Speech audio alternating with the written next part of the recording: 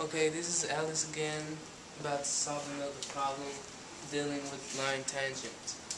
Okay, an equation of a line tangent to y equals x cubed plus 3x squared plus 2 at, at its point of inflection is, for this equation, line, we're to have to, we have to use the equation, equation y minus y, y1 equals m, m sub t parentheses x minus x of 1. And this is for line tangent. Okay, we have to find our point of inflection, so we got we got to do y prime first. y prime equals 3x squared plus 6x. Now we have to do y double prime find our points, points of inflection. y double prime equals 6x plus 6. In this equation we could factor out a 6 right here. 6x plus 1 uh, we set this equal to 0 our x is going to be negative 1. Now we have to plug negative, in order to find our point, we have to plug in negative 1 to our original equation.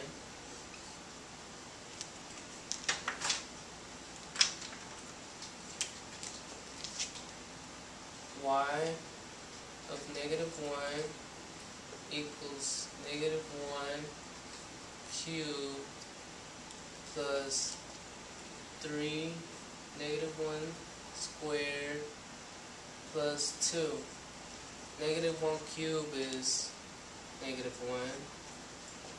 3 negative 1 squared is 3 plus 2. This equals 4. So our point is going to be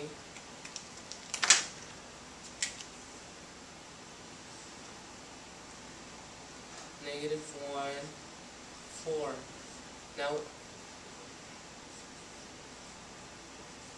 now we have to find our slope. Our slope, which is m sub t. In order to find that, we have to plug in negative 1 to our y prime. Y prime of negative 1 equals 3 negative 1 squared plus 6 negative 1.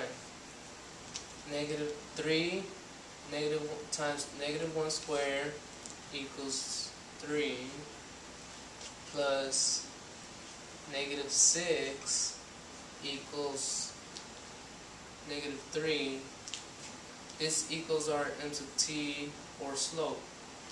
Now we have to plug in m sub t and our points into this equation.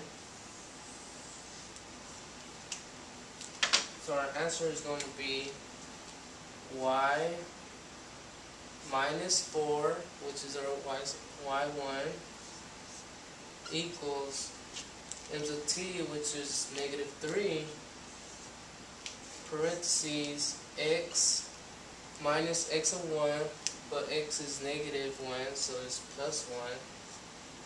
And that will be our answer for our line tangent.